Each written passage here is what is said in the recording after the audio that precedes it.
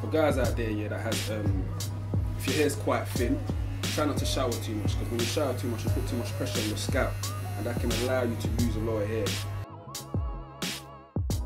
When you go to the barbers and you're gonna go get a haircut, please try not to grease your hair. If you really want that ill fade and you want that fade to come out proper, don't grease your hair because what happens when you grease your hair and you go to the barbers, the hair tends to stick to the clippers. If you can take, if you're gonna texturize your hair, texturize your hair at least like once every three months or something. Don't do it on a regular basis because what tends to happen is you're gonna have a bald patch on the top of your head and you really don't want that.